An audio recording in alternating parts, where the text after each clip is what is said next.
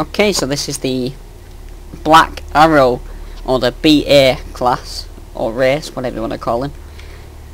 He has quite um, quite good stats. He's the best damage kind of rank, I think. He's the best damage kind of race. He's got the highest damage in the beginning anyway. He also has um, health is pretty good. Now I'm just going to check if I have a have a uh, have a equipped thing, but you get that at the start anyway. That's his true. That's his true health, but I have that on. Okay, so back to this. Yeah, so he has quite good health, power's good, armor's good, avoidance and resistance not so good. But um, if you if you want to look at these, you can pause the video and have a look. Now for skills, he is a support class, so he has many range attacks, and he has the most range attacks, and uh, at the furthest distance as well. He has a buff skill, which is moving target, which basically, because you're a support support guy, if you get into any close combat, you can press that skill, it'll last for 30 seconds, and basically it's a running away buff.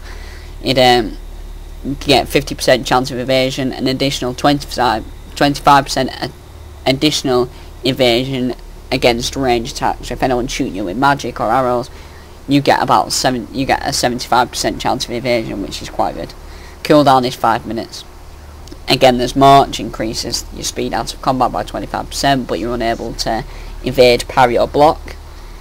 Now he does have one melee skill, which is called Cut, which um, you can hit up to five targets at a radius of five meters in front of you. I think it is a sweeping cut that can deal multiple that can deal damage to multiple targets in front of you. So yeah, it's in front of you.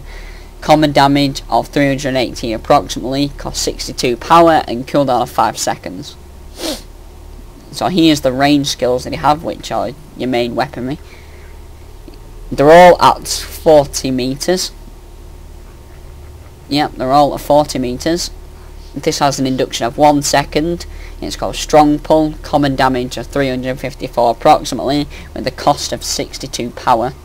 Screaming Shafts, induction of 1.5 seconds rather.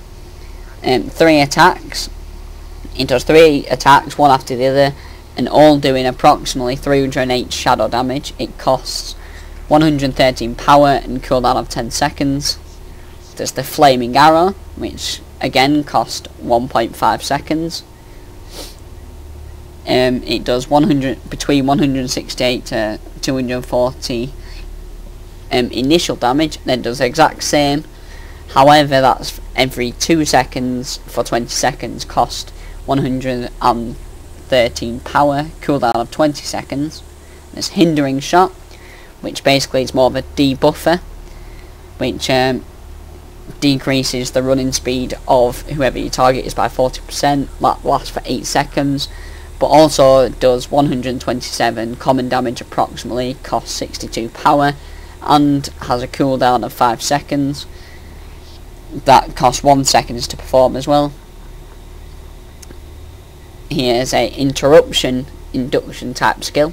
It does 381 approximate common damage, but the main thing about this attack is that it interrupts induction. So if someone's performing a spell that's that takes them 5 seconds to perform, you can do this and it'll stop them performing that skill. It costs 62 power and cooldown of 15 seconds. If you look at my stats with this guy, you might be able to see the... So I've got more kills than I have deaths. Rating, again, not all that good. But um, but yeah, I've got more kills than I have deaths, which is uh, which is quite nice. So, but yeah, this guy's um, a really good support class. I really enjoy using him. And uh, yeah, he's got the furthest distance, so if you just like to kind of sit back and attack, then then he's um, quite good to use for that. So yeah, this is the Black Arrow.